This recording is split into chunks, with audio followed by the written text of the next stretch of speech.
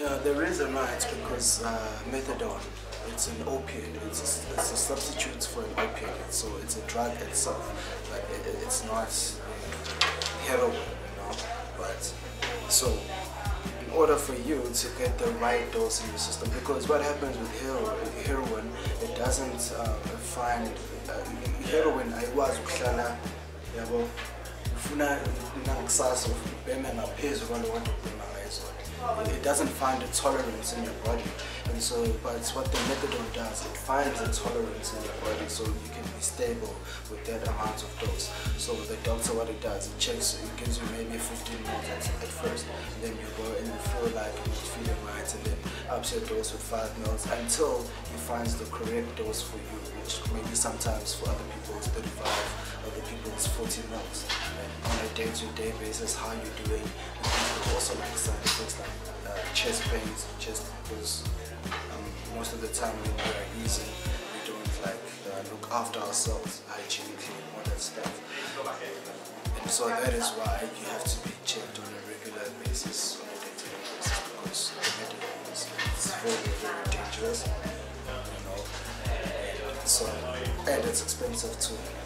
And so we were lucky and fortunate enough to get it for free. And uh, so that's how it is. Okay.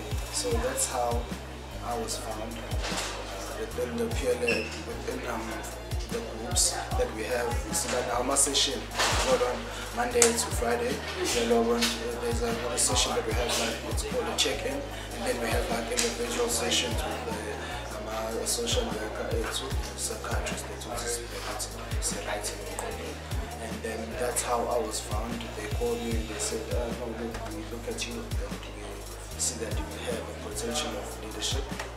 Uh, we like you to keep it up. So nami ngaqhubeka ke yabo ngakhuthaza abafethu ngihlezi nje yabo loo nto and our lives changed. So it was the methadone and the psychosocial services. It was a remedy of remedies and somehow it worked and everyone within the center yeah, so just wants to abstain. You know, it doesn't want to cut down. So I think indlela aba-approach ngayo and which that approach was called the harm reduction because it's all about yourself harm reduction. How can I make you better? How can I make you feel better?